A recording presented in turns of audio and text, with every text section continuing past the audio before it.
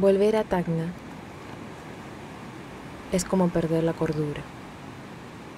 Volver es comprender que lo que se extraña se perdió en el tiempo y que ahora me he convertido en las fotos que adornan las paredes de la casa.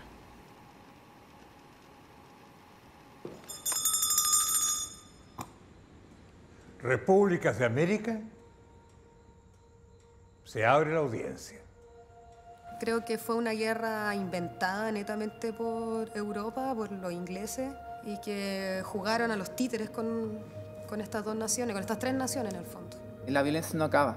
Amedrentan a ciudadanos peruanos, marcan sus casas con cruces de alquitrán. No aparece especificado ese periodo oscuro que vino después, inmediatamente después del tema del fin de la guerra, oficialmente.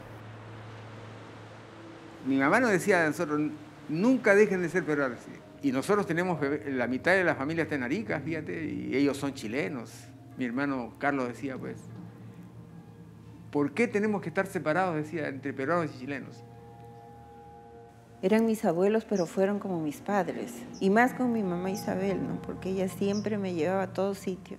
Me llevaba a Arica.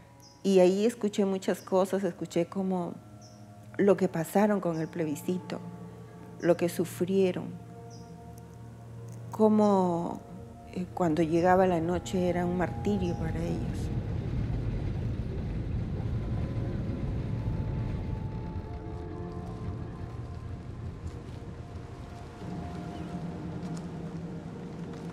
En el olor a mar encontré a Isabel y Dimas, mis bisabuelos.